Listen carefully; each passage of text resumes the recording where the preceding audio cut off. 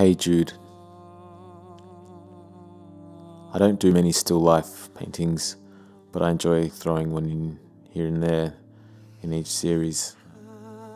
So I decided to do a seated walker for this one, seeing as it was a big part of my father's uh, year um, dealing with the effects of his brain tumor.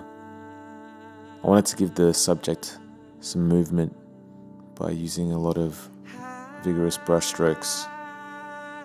We tend to see walking aids like this as objects that are slow paced and for slow moving uh, people, particularly elderly people.